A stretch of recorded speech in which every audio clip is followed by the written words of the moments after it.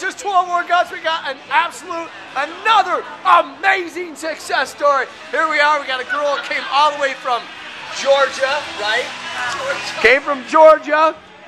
She heard how great the results we got here in one month. Would you be happy if you lost 12 inches? Yes. Okay, you lost eight and a half inches just off of your stomach. Woo! Woo! In one month, she lost 27 and three quarter inches. That's over two feet. What do you think of that? Pretty sweet. Was it hard? Yeah, a little bit. Little bit? Okay, good. Was it worth it? Yes. Good. There it is. Ryan Lose12inches.com. If you're not in here losing inches, you're missing out.